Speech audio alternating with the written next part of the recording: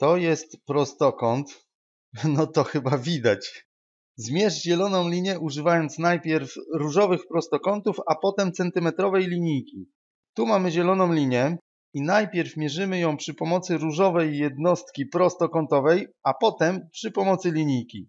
I w sumie od razu widać, że zielona linia ma długość jednego różowego prostokąta. Ale jeżeli zmierzymy ją w centymetrach, to jej długość będzie wynosiła 6 centymetrów. Możemy więc zapisać, że długość zielonej linii to jeden prostokąt, a w centymetrach jej długość to 6 centymetrów. I ma to sens, bo różowy prostokąt jest znacznie dłuższy niż 1 cm. Dokładnie ma on długość 6 cm. Tak więc możemy zaznaczyć, że długość prostokąta jest większa niż długość centymetra. Widać to na tych rysunkach. To jest długość prostokąta, jest taka sama jak długość zielonej linii, a centymetr, 1 centymetr jest taki długi. Długość różowego prostokąta to 6 centymetrów.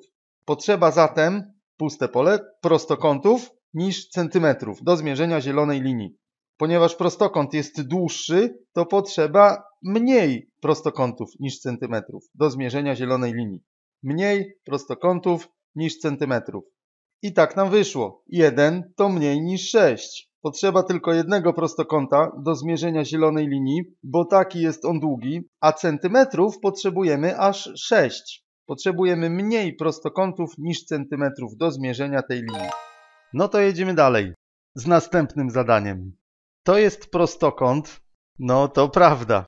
Zmierz niebieską linię używając najpierw zielonych prostokątów, a potem centymetrowej linijki. Podobne zadanie. Jeżeli spojrzymy na tę niebieską linię, to teraz linia ma długość dwóch prostokątów. A jeżeli zmierzymy ją przy pomocy centymetrów, to ma ona 4 centymetry. Długość prostokąta jest puste pole niż centymetr. No cóż, widać, że każdy prostokąt jest dłuższy niż 1 cm.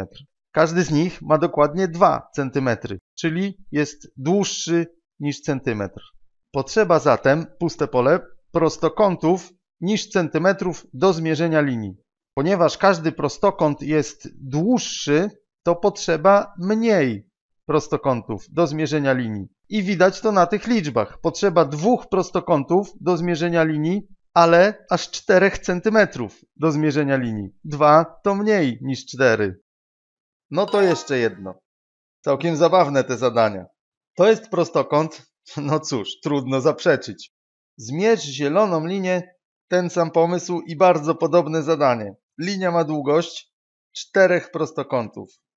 Linia ma długość 7 cm. Długość każdego prostokąta jest dłuższa niż centymetr. Tutaj to widać. Każdy pojedynczy prostokąt jest dłuższy niż 1 cm. Czyli zmierzenie linii zabiera mniej prostokątów niż centymetrów. Wiemy już jak takie mierzenie działa.